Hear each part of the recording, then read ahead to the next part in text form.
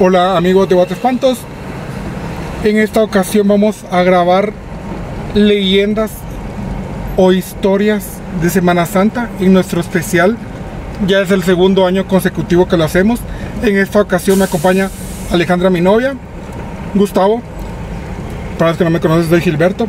Gustavo se sabe unas leyendas muy interesantes, unas leyendas que yo no sabía. Vamos a, a ir también a la iglesia del Santo Hermano Pedro y al museo, un lugar que yo nunca he entrado. ¿Vos, Gustavo? Sí, hace años estuve en el museo. ¿Tú, Alejandra? Yo jamás he entrado al museo. Dicen que es un museo muy interesante. Crucemos los dedos que podamos grabar y si no, pues Gustavo les va a contar la historia. Vamos a ir a unas dos o tres iglesias donde hay unas historias bien interesantes. Espero les guste el video del el especial de Semana Santa. Comencemos.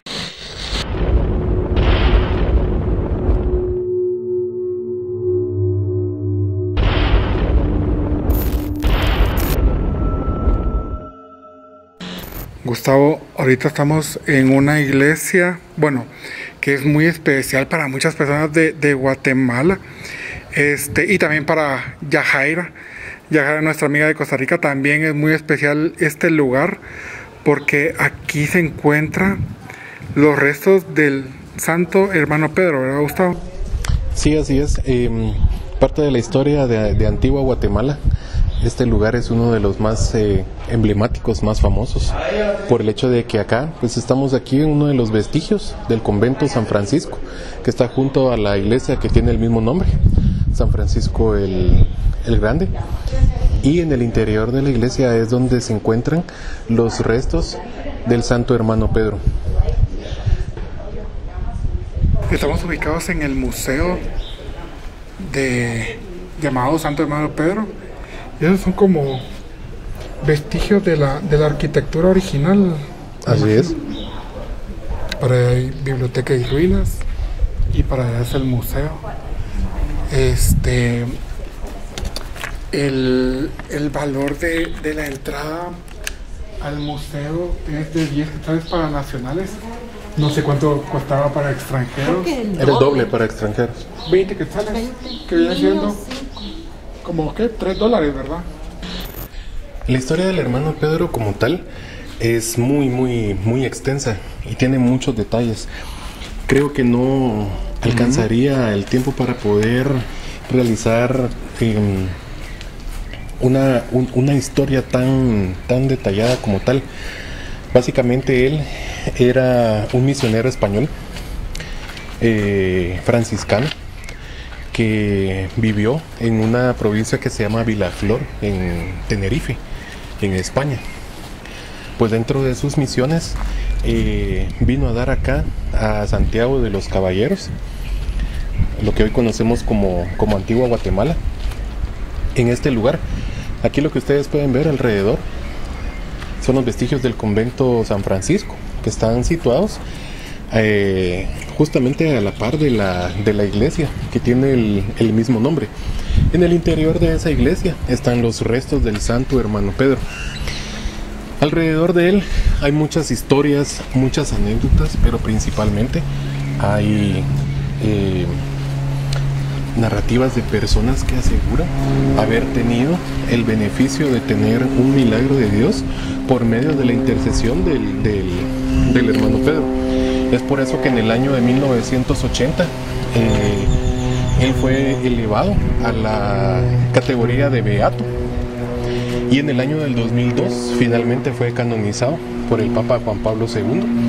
Entonces ya fue elevado a la categoría de, santo. Entonces ahora, eh, como se le conoce en día, es el santo hermano Pedro. Además de esas historias eh, de milagros, lo cual sirvió para acreditar esa, pues, e-, esa elevación que le hicieron dentro de la, de la Iglesia Católica. También hay historias que son bien interesantes. Entre ellas está la historia que yo les había compartido cuando estábamos allá en la Rectoría de Santa Catalina. Si no la han escuchado, pueden ver el, dentro de nuestra línea de, de videos, el video que hicimos eh, la, la vez anterior cuando estuvimos en iglesias de la ciudad capital. fue básicamente el momento cuando él estaba orando aquí en el Calvario, que es donde estamos cerca de acá. Y él tuvo una visión que la, que la imagen que estaba crucificada le dijo de que él ya no quería estar crucificado, sino que quería estar eh, descansando bajo el coro de las Catalinas que él quería hacer. Ah, sí. Eh, ya no quería hacer más una imagen crucificada, sino, sino un sepultado. Entonces viene él y cuando se para y lo ve, la, la imagen, cuenta la leyenda, cae hacia, el- hacia, los, hacia el cuerpo del hermano Pedro y él se lo lleva en- en- a espaldas, o como decimos aquí en Guatemala, a tuto. A tuto. Eh, se lo lleva por toda la calle que está del Calvario. Todo esto que está acá, que, que- que se conoce como la calle de los pasos.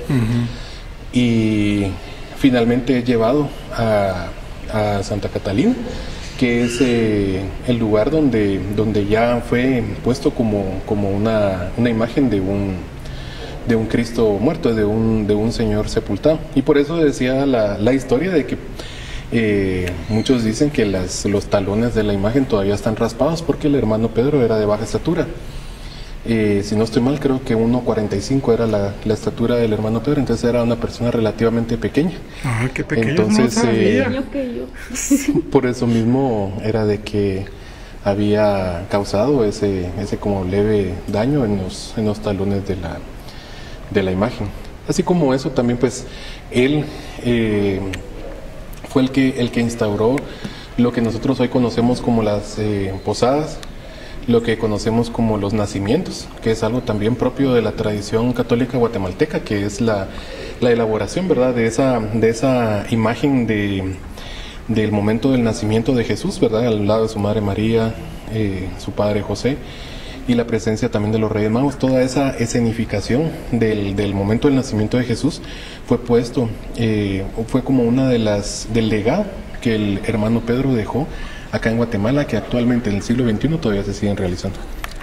Ustedes no, no sienten como, como paz. Ya en la segunda que entramos como iglesia, que realidad creo que si no, no vamos a poder ver. Pero se siente como tranquilidad, como paz. Se siente como que si se respira algo puro también. Y se siente como un clima como, como frío. Y, y solo es adentro de las iglesias.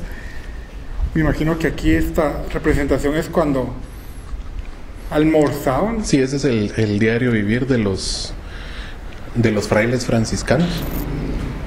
Queríamos entrar al museo, pero no se puede grabar. De repente podemos entrar y sacar unas tomas con el celular. Eh, este video se lo queremos dedicar a Yajaira, a Vanessa, nuestra amiga de, de Costa Rica. Saludos, porque eh, ella cuando vino, vino a pedir un milagro. Y era un milagro que era como imposible que se diera. Y ella le pidió con mucha fe al santo hermano Pedro y se lo cumplió. Entonces ella dice que cuando venga otra vez a Guatemala van a ir aquí a la iglesia.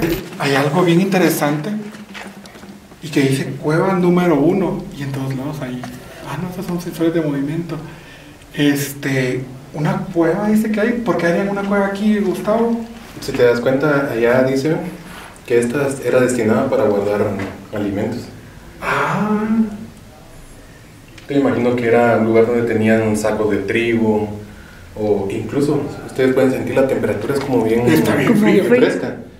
Entonces, Como que si fuera un refrigerador. de los que de los que cosechaban de las de las huertas. Los franciscanos tenían mucho esa costumbre de que ellos todo lo, lo, lo que obtenían lo tenían a través de su propio trabajo. O sea, ellos mismos sembraban sus propias legumbres o sus propias no, no verduras compraban, ¿no? todo lo hacían ahí. Como recordate que también pues ellos, eh, pues es una orden que realmente no es una orden que, que obtenga como un beneficio económico. Muchos de los frailes hacían, entre ellos el Santo Hermano Pedro, tenían votos de, de pobreza. Habían votos de pobreza, votos de castidad, incluso votos de silencio. Entonces, eh, teniendo en cuenta eso, pues ellos mismos buscaban tener sus propios recursos para, para poder eh, alimentarse. ¿va? Y entre esos recursos también pues era el, el poder... eh, el hermano Pedro tenía mucho esa, esa costumbre que él De hecho, hay, hay en las fotografías a él, a lo ponen con, con un como báculo, que es con el que él caminaba. Eh, tiene un rosario, él rezaba mucho el, el rezo del rosario, los que son católicos pues sabrán de qué se trata ese, ese rezo, pero también eh, pedía dinero. Entonces, ese, ese dinero que ellos recaudaban era principalmente él también, ¿verdad? Servía para alimentarse entre ellos, para las inversiones de esto, de los gastos de los alimentos propios de ellos y también para comprar medicinas y tratar a los enfermos que habían, porque esa era otra de las, de las misiones que tenía el hermano Pedro, que él era una persona que ayudaba mucho a, a las personas. Él ayudaba mucho, no solamente en el lado espiritual, sino que también ayudaba a personas que estaban enfermas y que no tenían el recurso para tener eso, el acceso a las, a las medicinas, y también a personas que eran extremadamente pobres. A la- en la actualidad todavía hay un hospital que se llama... Es el de las obras sociales del hermano Pedro. Hay una frase que dice... Un alma Un alma no más". nomás. Esa frase del hermano Pedro. Sí, la frase eh, completa dice, acordados hermanos que un alma tenemos y si la perdemos, no la recuperamos. Wow, acabamos de salir del, del museo. Vengan, no podemos grabar nada ni tomar fotos. En todo el recorrido sentí escalofríos. Hay algo que nos llamó la atención mucho. Es que el hermano Pedro tenía un cráneo que meditaba. Vos dices que meditaba con, con el cráneo. Sí, él en, en- en su, en su habitación, dentro de sus pertenencias, tenía un, un cráneo y era el que utilizaba para poder eh, hacer las meditaciones. El hermano Pedro meditaba mucho y dentro de las cosas que él meditaba era eh, lo que sucedía en, en cuestión de la muerte, ese paso de, de la vida hacia, hacia la muerte, esa transición. Él meditaba mucho en esa parte. Entonces, dentro del museo está la calavera que él utilizaba para realizar esas meditaciones. Pero ahorita entre todos estamos debatiendo si Sí, la calavera es real. Sí, es real. No es real. Yo pienso que, que sí es real. Otra cosa que nos llamó mucho la atención es todas las personas que les han cobrado, les ha dado un milagro. No, y también la atmósfera que se siente es como de un sentimiento de agradecimiento, no un sentimiento así, así malo, sino que muy bueno y eso te llena así como que, como te impresionas, ¿verdad? De tantos milagros que, que realizó eh, el hermano Pedro. La verdad se siente la energía bien, bien fuerte adentro. Muy bonito. Vengan a verlo si vienen a la antigua Guatemala. Hay un montón de cosas del hermano Pedro. Vimos este, ropa. Hay, ropa eh, reliquias, digamos, está la ropa interior que él utilizaba, la capa, la campana. Hasta la fotocopia de su acta de nacimiento, creo que es fotocopia, o era. No, era su fotocopia, está el, del acta de nacimiento de 1626. Es del, no es de nacimiento, es de bautismo. Ah, de- Ah, sí, de bautismo. Tiene una copia del, del acta de, de bautismo de 1626. Tienen reliquias como la silla que él utilizaba. Tienen, eh, estaba viendo que estaban también las sábanas que envolvían el colchón donde él eh, pasó sus últimos momentos ya aquí en esta, en esta vida.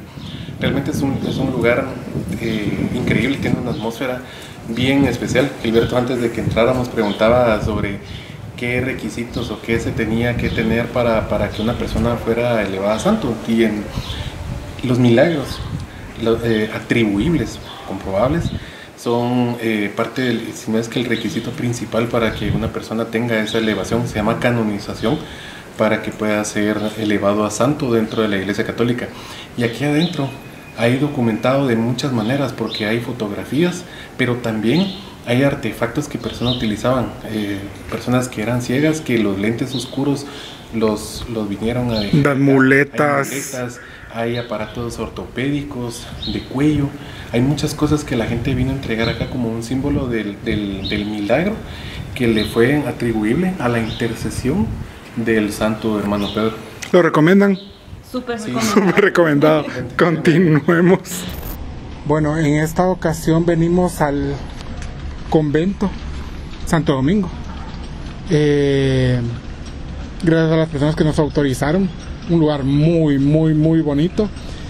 Eh, estábamos viendo de que hay dos, dos esqueletos. ¿Serán de, de padre, Gustavo? ¿Algún padre?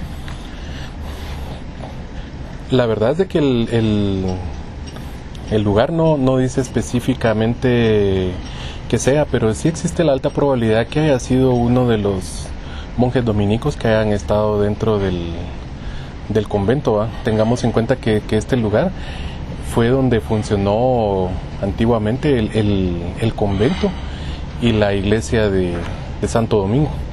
Entonces, eh, nos comentaban que, que, estas osamentas que están acá son eh, osamentas que fueron encontradas dentro del, del, del convento. convento. ¿verdad?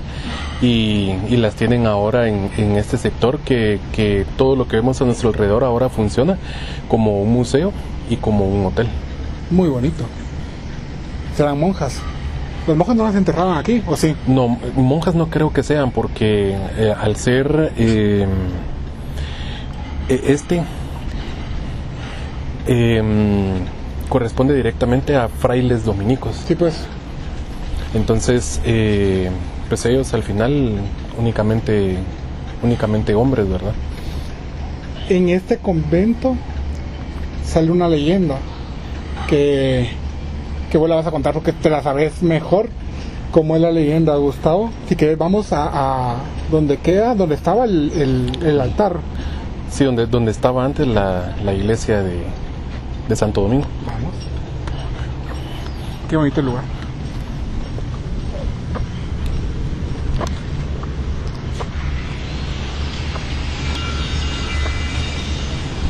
Esta pileta me estabas contando vos que, que, tiene un símbolo, ¿no? Sí, el símbolo que miras al centro es el de la, se llama la orden de los, de los predicadores, que es el que identifica directamente a los frailes dominicos. ¿Y arriba qué hay, Gustavo? Como pájaro, mira. Sí. Como que fuera maya, no sé. Sí, parece como que fuera algo, algo tipo maya. La fuente fue construida por Fray Félix de Mata. Vamos a ver, vamos donde estaba. Qué bonito que todavía conserven todo, todo esto. Yo creo que por aquí es, ¿no? Ah, sí, pues. Uh -huh. Mira, aquí queda. Sí, recuérdate que también Antigua Guatemala se ha caracterizado por precisamente por eso, ¿verdad? Por preservar eh, todo lo que lo que hay acá, cuidarlo, protegerlo. Tengamos en cuenta que ya es un patrimonio cultural, no solamente en, en, en Guatemala, sino a nivel del mundo.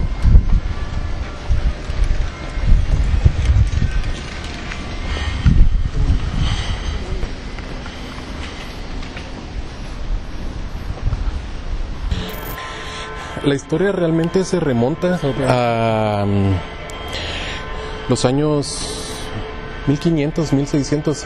Realmente el, el, el, dato concreto de las fechas pues no lo tengo, puesto que también es una, es, es una historia que se cuenta eh, siempre en estas fechas de, de, de, Cuaresma y Semana Santa.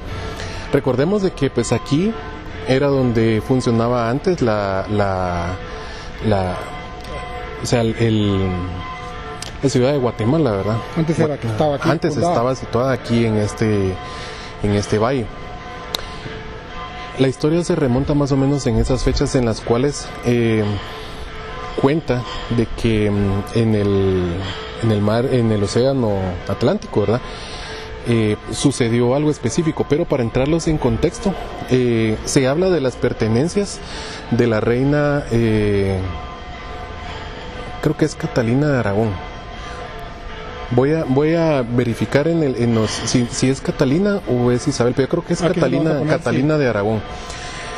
Ella, eh, pues fue esposa del, del rey Enrique VIII. Entonces ellos, al momento de realizar su separación, la reina ordenó que todas sus pertenencias fueran eh, cambiadas del lugar. Y eso se hizo a través de un, de un barco cuenta la historia de que ese barco eh, naufragó y que todas esas pertenencias quedaron flotando en el, en el, en el océano y fueron encontradas eh, cercanas a las costas que están en Santo Tomás de Castilla, que es en, en Izabal. Ajá. Eh, una versión dice que fueron de, encontradas en ese lado, otras dice que fueron encontradas en Honduras. El punto es de que al momento de que recuperaron todas esas cajas empezaron a ver de que eran pues eh, pertenencias, ¿verdad? De alguien de, la, de la realeza. Y em, dentro de las cajas que había, había una caja pues más o menos grande.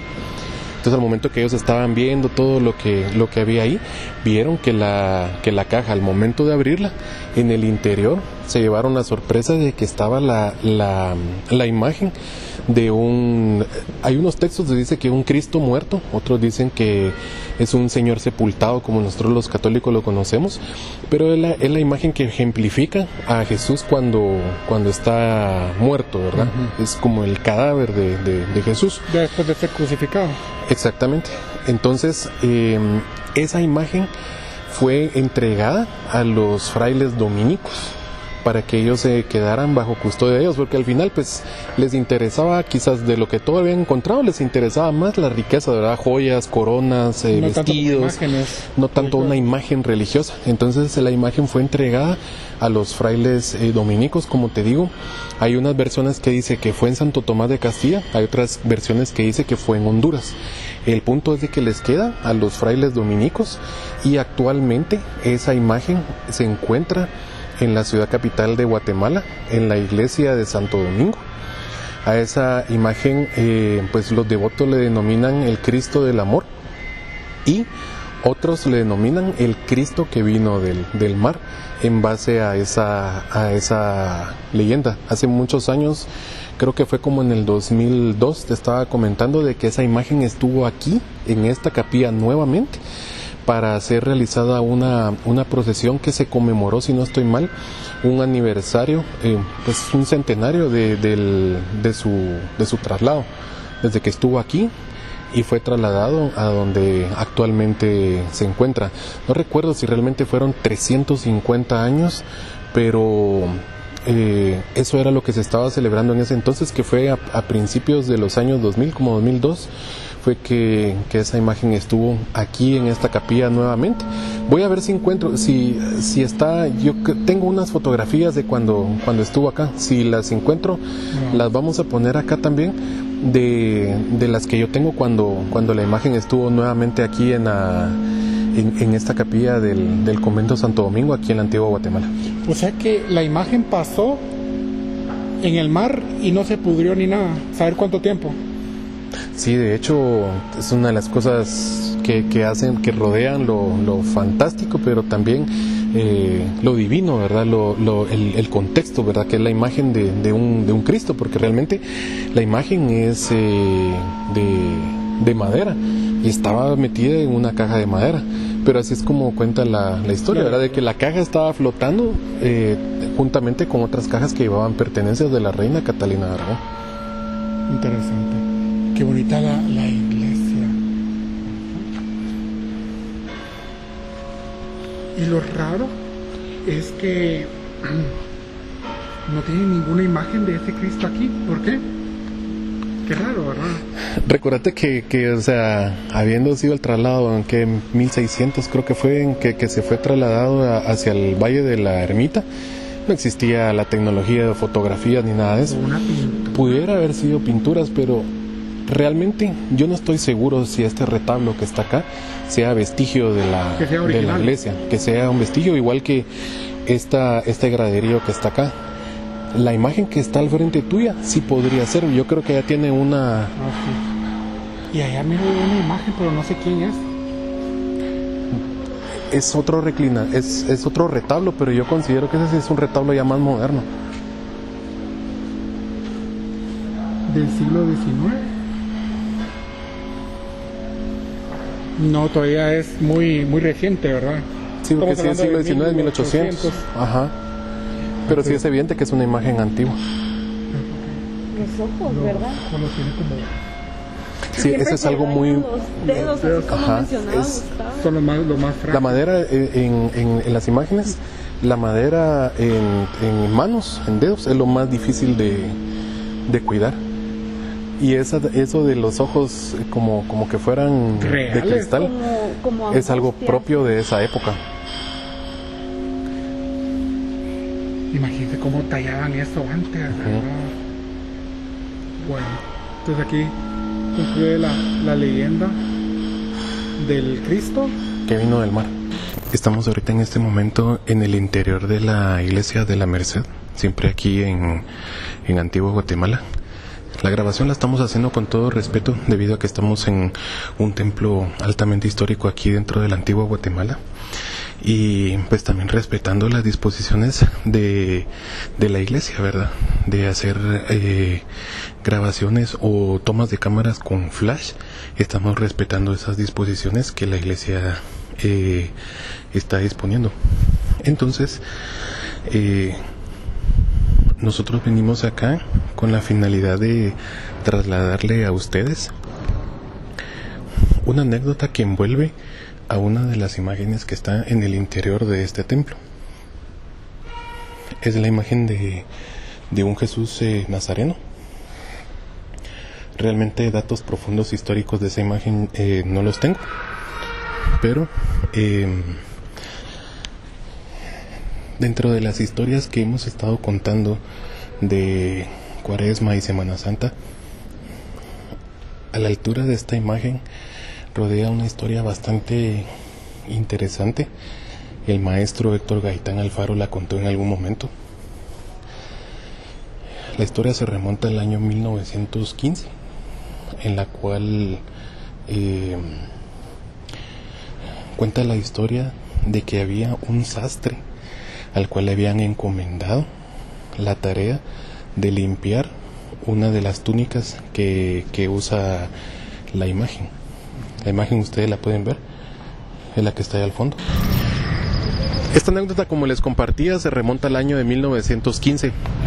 En esa época existía un, un sastre, aquí siempre en la antigua Guatemala, que él había sido encomendado por parte de un padre mercedario de esta, de esta iglesia para poder realizar un trabajo sobre una de las túnicas del Jesús Nazareno que ustedes pudieron ver en el, en el interior de esta, de esta iglesia. Ahí le habían encomendado la tarea de quitarle una mancha que era bien difícil de quitar de, de la túnica que, que, que es propiedad pues, de, de Jesús Nazareno. Entonces eh, le llevan la túnica a su, a su taller y él empieza a trabajar en la, en la túnica. Cuenta esta historia de que él era una persona bastante pues renuente, una persona pues bastante molesta, de un humor muy muy fuerte y pues más adelante de la historia se explica el por qué cuando él se da cuenta de que mientras más trabaja en la mancha, eh, más quiere quitarla, la mancha se corre más, la, mancha se, se, ve más en el cuello de la túnica de la, de la imagen. Entonces dice esta historia de que la persona empieza a hablar malas palabras, empieza a, hacer blasfemias. Mucha gente que pasa alrededor del taller lo escucha, que está maltratando a raíz de esa impotencia que le genera a él el no poder... Em, quitar esa mancha. Y dice que muchos se, se santiguaban y al escucharlo, ¿verdad? Y decían, pues ojalá Dios lo perdone por todo lo que está diciendo. Entonces, eh, pues al momento de que, pasa eso, también sucede algo paralelo en su vida. Y es de que cuenta esta historia de que él tiene una hija de aproximadamente 15, 16 años, que ella ya está como en un estado de agonía, porque ya tiene ella una enfermedad que es muy difícil de curar. De hecho, dentro de la historia dice que él tuvo una cita con, el médico y el médico le dijo de que la, de que la niña pues ella ya estaba en una fase como muy terminal de la enfermedad que tenía. Él incluso dentro de esa impotencia y tristeza que le genera el tener esa noticia tan trágica de su hija, eh, pues empieza a, tener una, actitud de reto contra el cielo, ¿verdad? Pues le empieza a cuestionar a Dios de por qué razón eh, lo pone a, realizar ese tipo de tareas, que era la limpieza de esa túnica, si de todas maneras, pues eh, su hija iba a, a morir, ¿verdad? Tan joven. Entonces, él, al momento de regresar del consultorio del doctor y llegar a su casa, dice que él entra y al momento de encender la luz, dice que la túnica la ve eh, pues extendida sobre la sábana que estaba tapando a, la hija en la cama donde ella estaba postrada. Entonces, al momento de que ella se encuentra postrada eh, y él ve la túnica, se da cuenta de que la mancha que él estuvo limpiando por queriendo limpiar por tanto tiempo, la mancha absolutamente había desaparecido. La mancha ya no estaba y la túnica estaba completamente limpia y estaba pulcra para poder ser entregada él se sorprendió mucho al darse cuenta de que la túnica estaba limpia. Entonces eh, viene y empieza a arrepentirse. Dice que se pone de rodillas en su casa y le pide perdón a Dios de, haber blasfemado en su contra y de haber dudado en contra de él. Él lo cataloga como, como algo maravilloso que sucedió en su casa. Entonces él dobla la túnica, la empaqueta y se dispone a venir acá a la iglesia a retornarle la, túnica al padre.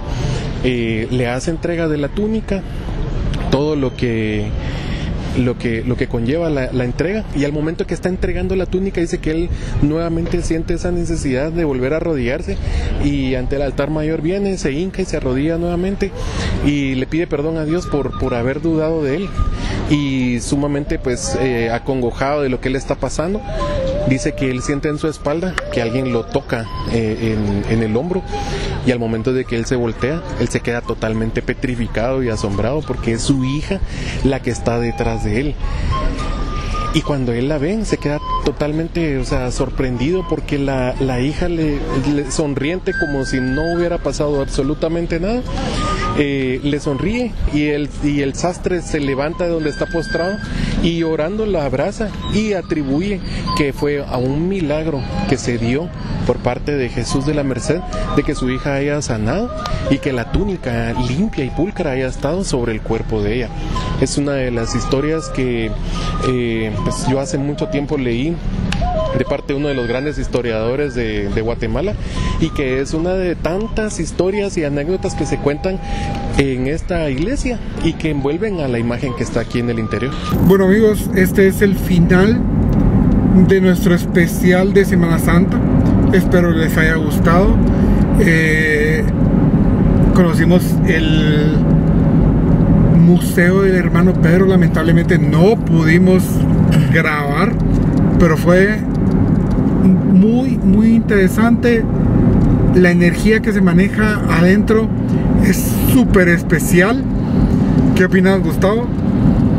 Eh, yo la verdad me, me agradó mucho el, el, haber hecho este video. En lo personal, a mí me encanta la, la historia de Guatemala y sobre todo la historia que tiene que ver con, con nuestras tradiciones y costumbres, entre ellos la Semana Santa. El haber leído sobre estas eh, historias, hay una que yo sí conocía mucho desde, desde hace mucho tiempo. Eh, realmente hace que, que, se mantenga vivo todo esto. A mí siempre me han dicho de que pues mientras uno siga platicando de esto y mientras siga compartiéndolo, se va a seguir manteniendo vivo. Entonces, en lo personal, me gustó mucho haber compartido con ustedes estas historias y, leyendas que se han contado, pues no solamente también aquí en Antigua Guatemala, creo que escogimos también este escenario porque pues, realmente Antigua Guatemala es un lugar hermoso, digno de visitar en, cualquier momento. Y entre ellos, pues el el museo del hermano Pedro, como bien yo, lo había hecho al principio, yo hace muchos años había estado en ese lugar y volver a, estar ahí, realmente comparto lo que dice Gilberto, la, energía que, que, se mueve en ese lugar es una energía muy, muy especial, es muy fuerte, pero muy especial. Yo en lo personal les recomiendo que visiten el, el museo del hermano Pedro, unas personas muy amables las que administran el lugar, que nos permitieron ingresar, eh, nos permitieron pues hacer unas pequeñas grabaciones y también fuimos respetuosos nosotros de, también de lo que nos habían indicado del, del, museo y por esa razón no lo expusimos, pero sí les extendemos a ustedes la invitación para que puedan ir a ese lugar, no se van a arrepentir de lo que van a encontrar ahí. Es barato, 10 quetzales, no, 10 quetzales cuesta la entrada para nacionales. Eh, Alejandra. Eh, para mí este recorrido valió completamente la pena porque visitamos iglesias que están cargadas, ¿verdad? de mucho valor cultural y también histórico. Y, y cada una de ellas encierra también como detalles bastante interesantes. Y las leyendas que comentó Gustavo, eh, la mayoría yo no las conocía y, y me, parecieron, me parecieron muy interesantes. Y sobre todo también ¿no? el, el museo del hermano Pedro estuvo así top, top. Muy bueno. Muy bueno. Tiene cosas muy interesantes. No sé si nos estamos volviendo como más perceptibles con las energías, pero cada vez que entrábamos a una ruina, de una ruina de una iglesia, sentía bien diferente la atmósfera, más como paz. Y te, se te inundaban como de sentimientos, como de agra- agradecimiento. como de paz. Sí. Eh, yo en todo el museo sentí escalofríos. Vayan a ver el museo del hermano Pedro. De verdad, no se lo, no se arrepentirán. Espero les haya gustado. Solo una, una cuestión más que yo quisiera eh, también puntualizar.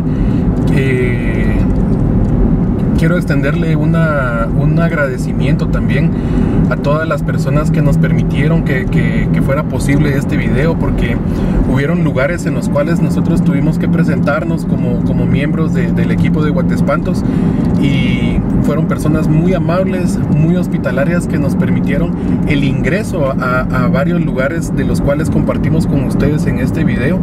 Fueron personas que nos permitieron realizar nuestro trabajo. Una vez más, les compartimos a ustedes contenido respetuoso, formal, objetivo.